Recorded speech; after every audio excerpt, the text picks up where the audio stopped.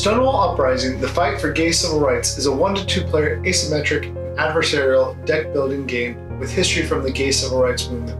Players compete as Pride or the Man during the 60s, 70s, and 80s. As Pride, your goal is to lower the number of the Overton window, showing that what is politically acceptable has changed in society. As the Man, your goal is to detain and demoralize 10 people, represented by Pride's cards. The game also has a solo mode, which I covered near the end of this video. You could also choose to play a cooperative game against the Man, as the game does deal with some difficult subjects like AIDS deaths in the 1980s. Right now, let's take a look at setup of the game. Keep in mind this is a pre-production copy and some of the components have not yet been finalized. First, set up the player board in the middle of the play area between the two players. Place cubes on the starting spaces as denoted by an S for systemic support, public support, and individual support. Notice that the starting spots for systemic and public support are on the man side and only on individual support is it slightly on Pride's side. Next, place these five deck thin tokens on the following spots on the board. As each spot is passed, you will remove these from the game during play. Black AIDS Death Cube starts on the zero space. The Overton Window Cube should start on 30. Place the dice pool, law tokens, and S tokens off to the side in reach of all players. Decide who will play as Pride and who will play as the Man. Place Pride's player sheet in front of them and find the 13 starting cards for Pride's deck. These cards have the 60s marked in the upper right corner, and they do not have any letters to indicate their place in the market in the bottom left of the card. Shuffle these cards and place them on the spot marked deck. Pride will draw a starting hand of 5 cards. The man sets up in a similar manner, placing their player sheet down, shuffling their deck of 10 cards, and drawing 5 cards. Again, the starting deck has the 60s in the upper right hand corner, and no letter in a box in the lower left hand corner. Each player can leave their starting hand of 5 cards face down on their player mats as they set up their respective markets. Each market will be set up with 80s on the bottom, 70s in the middle, and 60s on the top. The cards go in their respective position relative to that letter in the lower left hand corner. This is shown on the market boards for each player. A cards go here in the lower left, B cards to the right. Above these go C cards on the left and D cards in the middle right. And finally, the E cards go in the top left and F cards go in the top right. Just make sure the decades are correct, with 60s on the top, 70s in the middle, and 80s on the bottom. After you've set up your markets, place the events tracker near both players. As you can see, this is not a final component. The final component also has a place for detaining and demoralizing. Leave room near this board for the event decks of the decades. Place the double-sided event trackers near the event tracker board. Place the event decks of the decades in your set-aside area with a pile for Pride, and the man for the 60s, 70s, and 80s. Each player picks up their hand of five cards that they previously drew. Pass the first player marker to the man will take the first turn. Stonewall Uprising is played over a series of rounds. In each round, players take turns playing a single card from their hand until they are out of cards or they choose to fold. As players play cards, they move cubes on three different tracks systemic support, public support, and individual support. When the cube reaches the end zone of a track, an effect is triggered and an event token is placed on the event track. When the event track is filled, the winning faction flips an event card from that decade. Each decade will resolve only one event, and these cards never go into a player's deck or hand. In the 60s, there are only three event tokens. In the 70s and 80s, there are five event tokens. Play will proceed like this with players taking turns to play a card or fold resolving the event track when required, and then a market phase will happen at the end of each round. Let's talk some more about playing a card and resolving end zone effects. When you play a card, place it in the center of your play area, not in your discard. Move the corresponding cube of the icon in the top left of the card. Each card may have an image, a value, shown in the top left, a decade, shown in the top right, the name of the card, shown here, a card ability, and historical relevance, shown in italics at the bottom of the card. The deck of the card is shown on the back. Resolve any end zone effects that may have triggered. Once you have resolved these effects, reset the cube track back to the starting space for that track. The end zone effects for the man are detain a number of people equal to X, where X is the number shown in the pendant here. In public support, the man increases the Overton window by the number shown in the pendant here. With individual support, the man will demoralize or remove from the game a number of detained people equal to the number shown on the end zone space. Pride's end zone effects are in systemic support, undetain a number of people equal to the number you land on here. In public support, gain the corresponding die, immediately roll that die, and any dice already in your dice pool. You will always keep this result until you gain a new die. Place all your rolled dice here for your dice pool. With individual support, Pride moves the Overton window down by the number shown.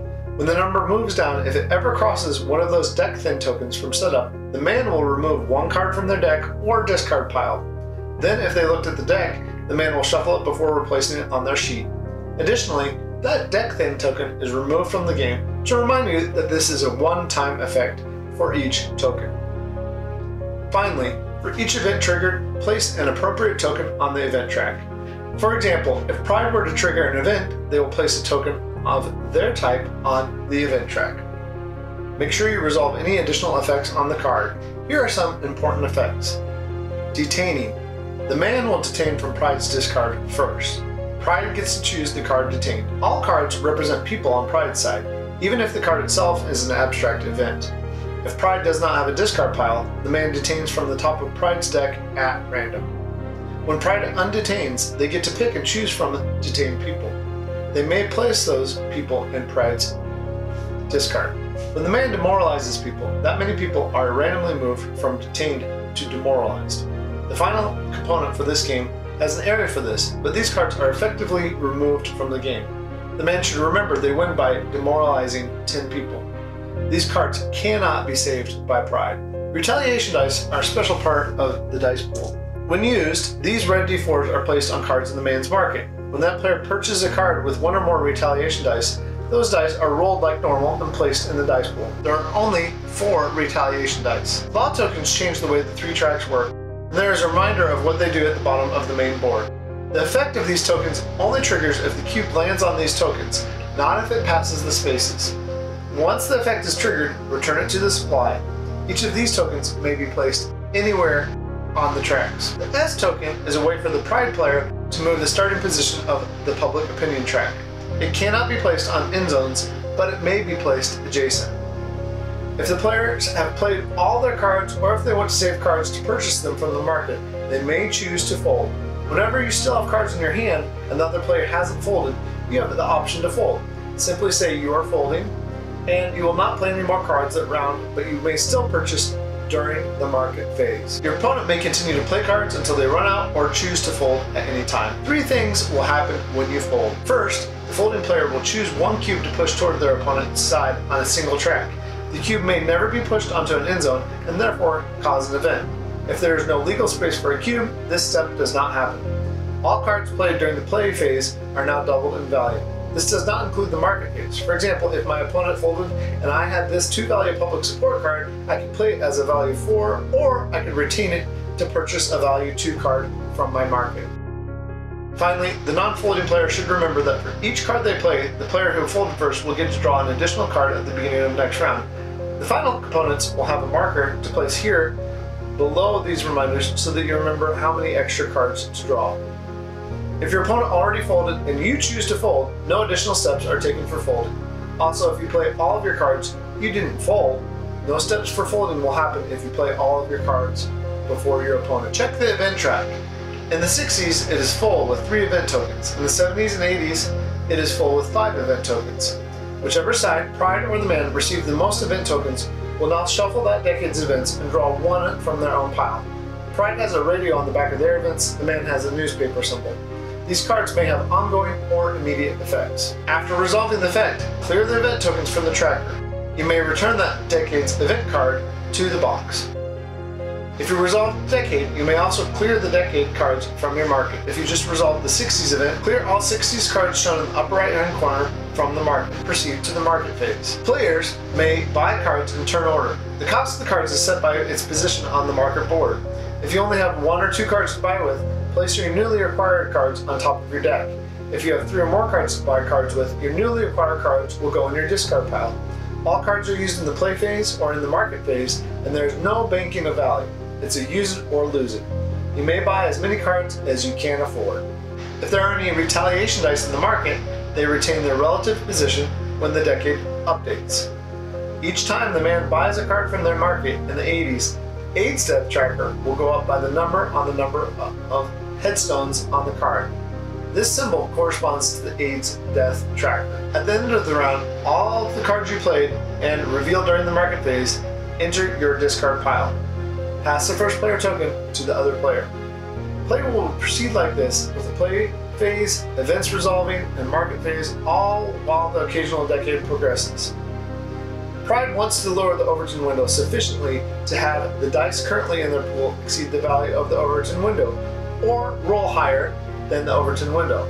The public support track is the main way they will add dice to their pool. The man's goal is to detain and demoralize 10 people and thereby remove them from the game.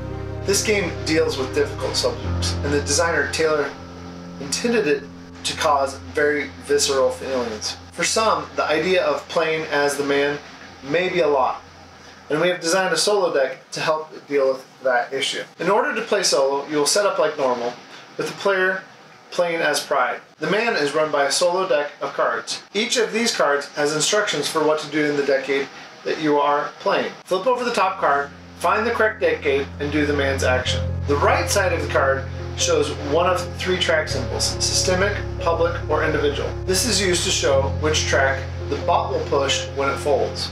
When the bot folds by revealing four hands, it will push this cube toward Pride.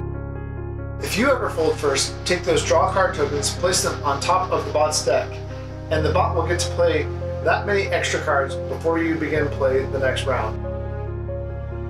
When the bot over demoralizes or demoralizes extra cards, those are just shifted to detain.